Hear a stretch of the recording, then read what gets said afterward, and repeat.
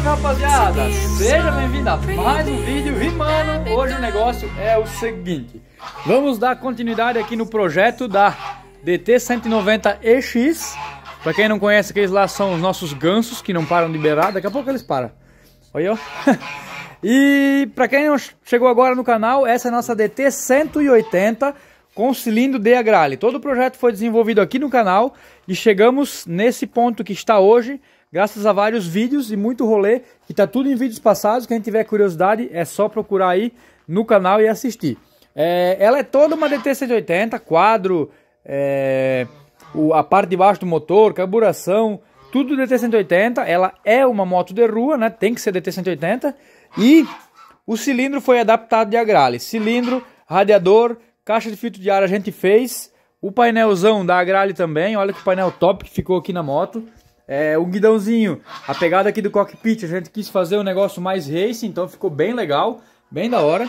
E a gente está dando continuidade e tratando os gansos para eles parar de... Olha lá, olha lá, fecha. Mas não para de piar, né? Enfim, a gente vai dar continuidade agora para a gente começar a chegar na fase de conseguir andar com a moto e fazer o acerto de carburação dela. E também resolver a embreagem que ela está funcionando, que nem a gente já mostrou no outro vídeo, só que tem que fazer algumas melhorias nela. Pois então, vamos ver o que, que falta na verdade nessa moto. Que a gente vai fazer umas anotação aqui, se a caneta funcionar, né? Vamos ver se ela funciona. Aí, ó, não funciona. Pega outra. a gente tem de tudo, mas nada funciona. Inclusive, motos. então, rapaziada, vamos fazer aqui um uma lista do que, que falta para a gente é, poder terminar essa moto. A primeira das coisas é por toda a roupa dela. Então a gente vai botar aqui por a roupa da moto. A segunda das coisas é terminar a parte elétrica. Para quem tá ligado, a gente fez uma live é, fazendo a partida da moto e a gente ligou somente o necessário para poder fazer a moto funcionar. E como a gente é bem Zé Ruela e não entende muita coisa de elétrica, a gente vai apanhar um pouco para fazer a elétrica dessa moto, mas a gente acha que vai dar jeito, né, câmera? Dá, dá. Você eu, dá. eu acho que a gente vai dar jeito. Se não der, a gente chama os universitários. Então, a gente tem que terminar minar a elétrica. Elétrica. Ah, parece que eu vejo um professor dando aula aqui, né? Cursinho Gambitec. Né? Quem sabe um dia a gente lança um curso de como fazer gambiarra, né? É, vamos lá. O que, que, a gente tem que fazer ainda? Filtro. Filtro de ar. O filtro de ar a gente desenrolou aqui ó, a caixa, a gente fabricou essa caixa de filtro de ar toda aqui no canal. Tá tudo em vídeos detalhadinhos. E a gente tem que agora criar o filtro de ar que vai ali. Porque a caixa tá aqui, mas o filtro a gente tem que ver como a gente vai fazer ainda. É um motorzão louco, né? Ah. Pô, ficou top demais. Meu, ô, projetão das galáxias, tá? Melhor do YouTube. Filtro de ar. Fechou. Mais o que? Vamos pensar aqui. É... Terminar a elétrica, botar a roupa. A gente tem que adesivar a moto. Então vamos ter que fazer, usar, botar os adesivos. Adesivos. Que eu acho que esses adesivos vai ser um vídeo bem louco. Porque para quem já acompanhou, eu já mostrei um detalhezinho deles aqui. Que foi um adesivo que a gente meio que pegou um adesivo existente de alguma coisa da Yamaha, que no vídeo dos adesivos eu conto. E a gente desenrolou, teve a ajuda da Leila, nossa, a minha cunhada, a mulher do, do meu irmão, que é o câmera. E a gente desenrolou meio que a faixa, ela desenhou pra gente e a gente mandou imprimir e ficou uma faixa personalizada bem louca. Então a gente vai fazer um vídeo dedicadão só pra mostrar as faixas e vai ficar bem top. Então adesivar a moto, que não vai ser nesse vídeo também, né, que eu acabei de falar. E mais o que? É, eu acho que só, né? Ah, e a embreagem. Isso. A embreagem. A embreagem. Que a gente tem que... A gente precisa fazer mais os testes e fazer uns ajustes que eu já comentei várias vezes também. Mas aí no vídeo específico da embreagem a gente vai falar sobre ela, o porquê, o como e o que, que a gente vai fazer, né? Então eu acho que basicamente é isso aqui, não tem mais muita coisa o que fazer. Então galera, no vídeo de hoje a gente vai tentar fazer a botar o plástico aqui de trás, o paralamas traseiro, a parte metálica e a parte de plástico, pôr o paralama dianteiro e finalizar toda a elétrica da moto, tentar fazer tudo funcionar, né? Que eu já falei, a gente é bem pato nisso, mas vamos tentar dar um jeito. E tentar fazer toda a elétrica funcionar, porque a gente tem que ver tudo isso funcionando para ver se vai precisar fazer alguma alteração de qualquer coisa e para a gente poder andar com a moto também, que a gente tem que fazer vários testes na moto ainda. É, como a embreagem, que eu já acabei de falar, e teste de carburação é, e aquecimento, é, refrigeração, do, circulação da água e tudo mais. É, se vai carregar a bateria por causa da bomba d'água, quem já viu os vídeos anteriores já está ligado. Então, vamos começar, né? Vamos parar de falar e vamos tentar fazer essa elétrica funcionar. E também a gente tem, ó, mostra aqui, câmera. A gente tem esse, essa chave de luz aqui, ó, que a gente comprou porque eu achei bonitinho.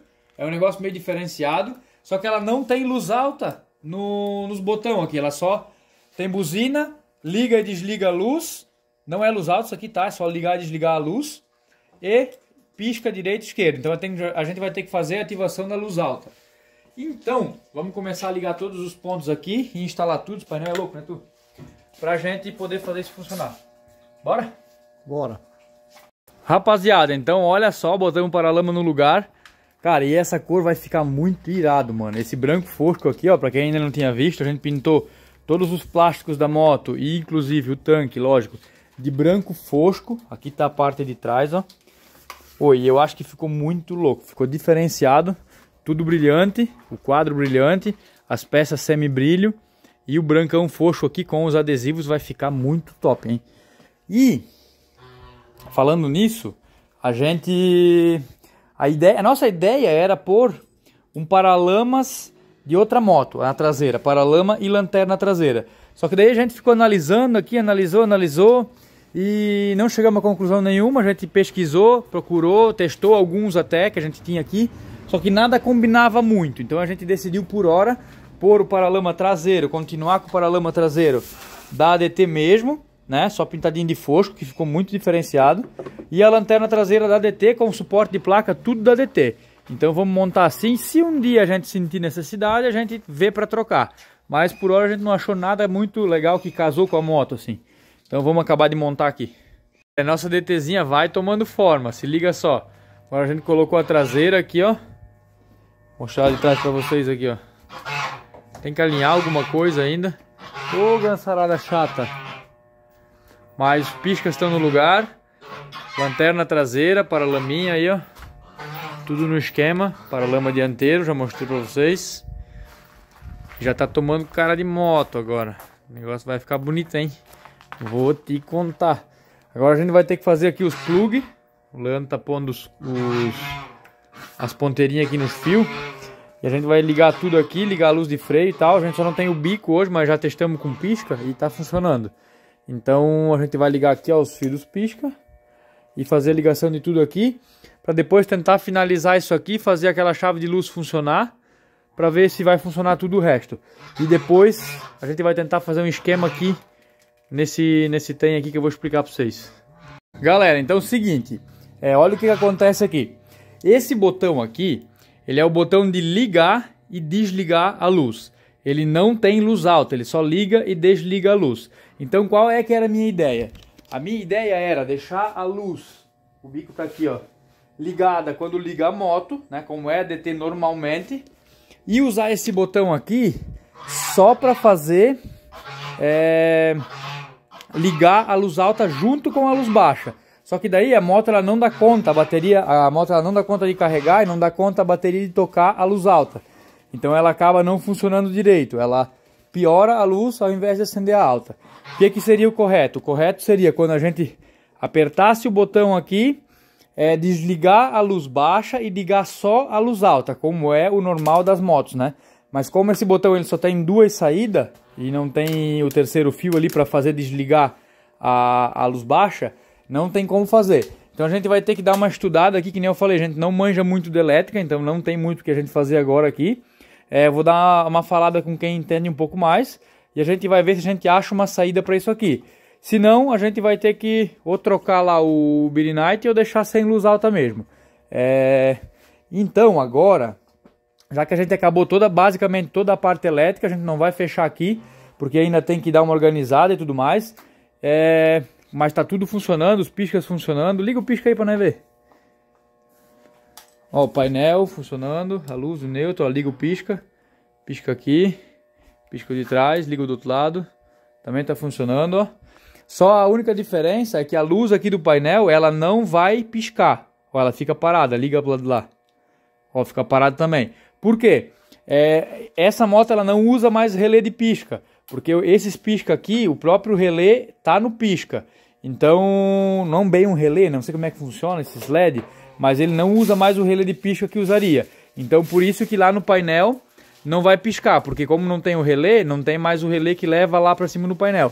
Só que isso também não é nenhum problema, daria para pôr um relé só para tocar as luzinhas aqui, só que eu acho que não é nenhum problema, deixa elas acesas ali direto quando for ligar o pisca e, e boa. Então, agora para a gente poder finalizar o vídeo aqui com um negócio um pouquinho mais legal, a gente vai pôr o tanque da moto. Para quem lembra, o tanque dessa moto a gente fez uma modificação bem louca, a gente cortou o tanque, tá tudo em vídeos passados, quem não acompanhava o canal ainda.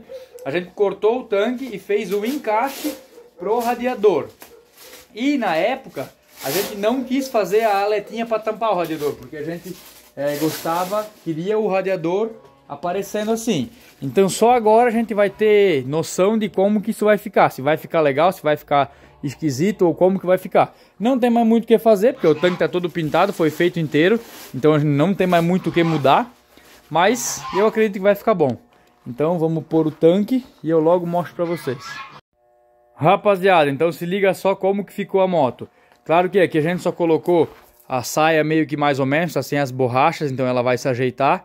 O banco também tá sem os engates porque é novo, então não tem parafuso atrás, não tem engate na frente, ele vai abaixar aqui, vai casar tudo essas gretas aqui, elas não vão existir, né?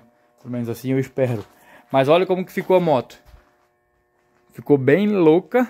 Claro que aqui ela ainda tá sem os adesivos, né? Então fica assim, estranho, sem adesivo, sem faixa, sem nada, né? Mas depois que pôr os adesivos vai ficar muito louca. E eu acho que vai chamar muita atenção quando passar na rua, hein? O que, que vocês dizem? De trás aqui, ó, pisquinha. Aqui não tem lateral ainda, né? Mas... Ah, e o radiadorzão ficou aqui, ó, olhando de cima aqui, ó.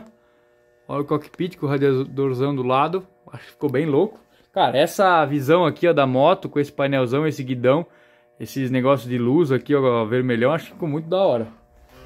E de frente, ficou assim o visual da moto. O que, que vocês me dizem? Deixa nos comentários aí o que, que vocês acharam. Rapaziada, mas então é isso aí. Esse vídeo vai terminando por aqui. Que nem eu já falei pra vocês, esse é o tipo de vídeo que não aparece muita evolução para vocês, mas a gente é obrigado a fazer porque senão as coisas não acontecem. Mas agora como está tudo aqui bem encaminhado, a parte elétrica, no próximo vídeo eu acredito que a gente já vai conseguir achar uma solução para essa luz, para ligar a luz alta ali. E também fazer a adesivagem da moto. Então, eu acredito, né, jovem, que o próximo vídeo já vai ser a gente fazendo adesivagem, a adesivagem da moto para poder fixar tudo no lugar bonitinho, botar ali a, os suportes do banco que não vem com o banco novo, para deixar a moto toda montada bonitinha para poder dar a primeira volta com ela. Ó, o banco ele vem assim, ó. Então não vem o suporte, tem que tirar do velho e botar aqui. Atrás também não tem, só tem os parafusos. Então, meu, essa capa, né, mata pau, né? Banco paralelo, né, é a vida, mas é o que tem para hoje. Não tem banco novo para comprar original disso aí eu acho que não acha mais nem, nem nos bons sonhos. Mas enfim, é o que tem vai, vai ter que ser isso aí mesmo. É, então depois que a gente adesivar ela, a gente vai poder montar toda a, a parte de tanque, botar a torneira de combustível, mangueira, é, montar as saias e o resto que está faltando. Para a gente daí sim poder dar a primeira partida aqui nessa moto. E o pessoal não deixou nos comentários aí no último vídeo eu perguntei o que, que vocês querem, se é uma live da primeira volta com a moto ou se a gente faz um videozão normal que nem sempre faz da primeira volta. Então deixa nos comentários aí para ajudar a gente e tamo junto. Até o próximo vídeo. Falou, valeu e fui.